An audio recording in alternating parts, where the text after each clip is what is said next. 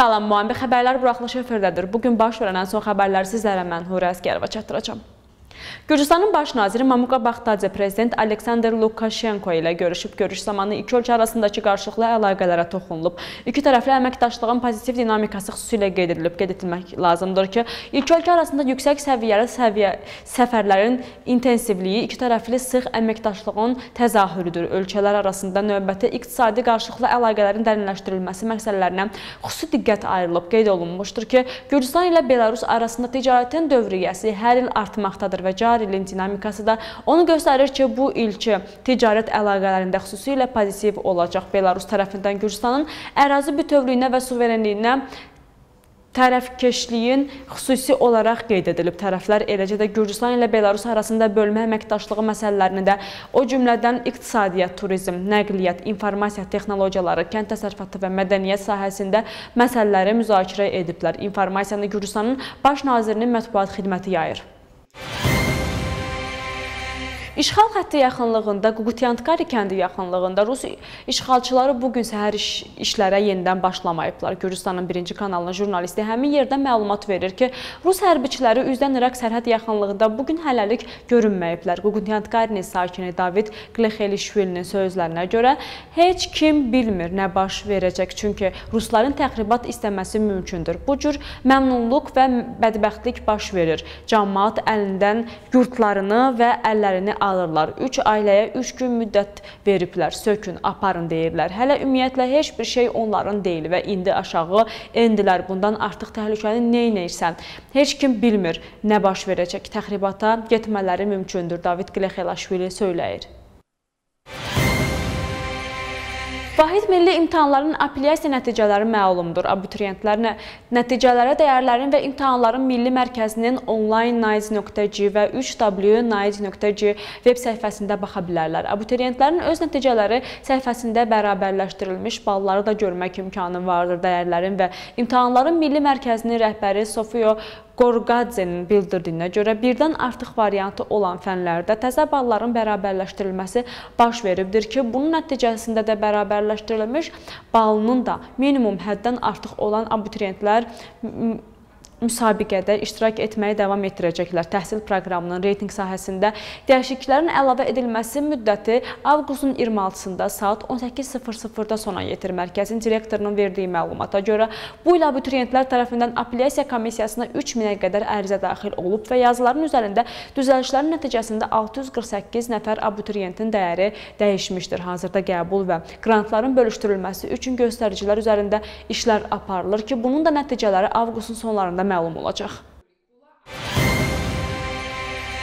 Ölkə miqyasında temperatur yaxın günlər ərzində yüksələcək. Şərqi Gürcüstanda 35 dərəcədək artıq istilik gözlənilir. Qərbi Gürcüstanda hava 28-32 dərəcədək istiləşəcək. Yüksək dağlıq yerlərdə isə istilik 32-35 dərəcəyədək çatacaq. Gözlənilən istiliklərlə əlaqədar məlumatı Ətraf Mühitin Milli Agentliyində təsdiqləyirlər. Gözlənilən istiliklə əlaqədar əhaliyə Xəstəliklərin Nəzarət Milli Mərkəzi zəmanətlərlə müraciət edir. Onlar vətəndaşlara günorta saatlarında uzun müddət günəş altında olmaqdan tələb tərəddüd etməyi məsləhət görürlər. Mütəxəssislər bildiriblər ki, gün ərzində böyük miqdarda mayenin qəbul edilməsi vacibdir.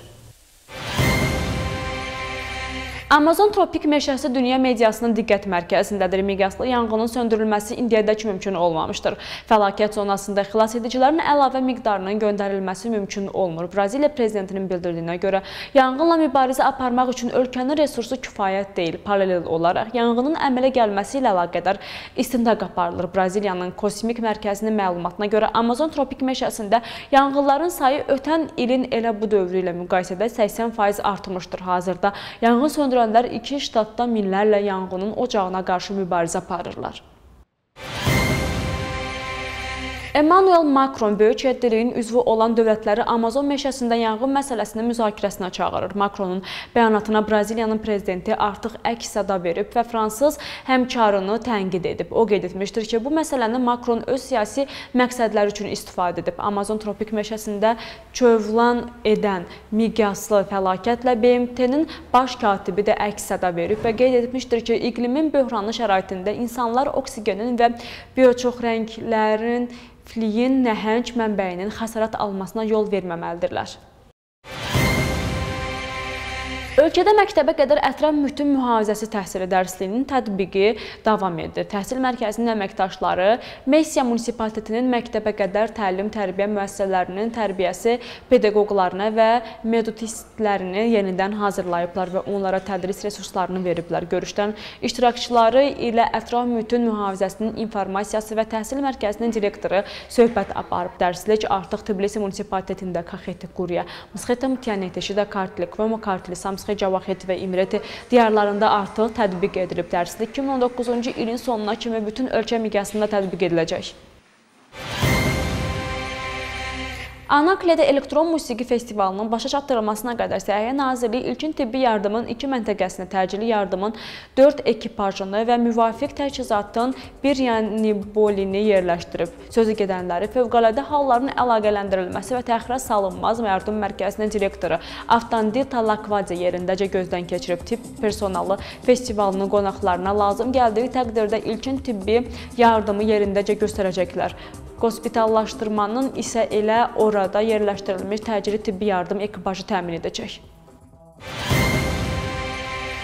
Donald Trampın böyük həddiliyə Rusiyanın qayıtması ilə əlaqədar Ukrayna prezidenti Vladimir Zelenski əks-səda verib. Zelenskinin şərh etdiyinə görə Ukraynada Rusiyanın işğalı və ölkənin şərqində durumun destabilizasiyası cəhdləri davam edir. Ona kimi isə Donald Trampın təşəbbüsü Avropa İttifaqı pisləyib. Böyük Britaniyanın, Almaniyanın və Fransanın birgə bəyanatında qeyd ediblər ki, Avropa Birliyi böyük həddiliyə Rusiyanın qoşulmasına zidd çıxacaq. Sözü gedən məsələ ilə əlaqədar bəyanatı Tramp bir neçə gün bundan əvvəl verib verib. Amerika Birləşmiş Ştatlarının prezidenti qeyd etmişdir ki, böyük həddiliyə Rusiyanın qayıtması adekvatik olardı, çünki orada müzakirə olunan çoxlu məsələ məhz elə Rusiya ilə əlaqədardır.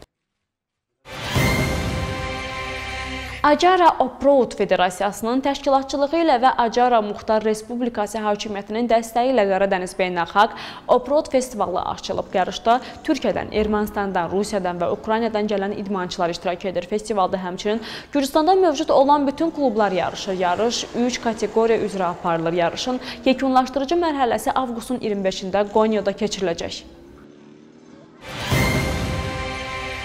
Bu gün sizə çatdıracaqlarımız bu qədər. Sağ olun.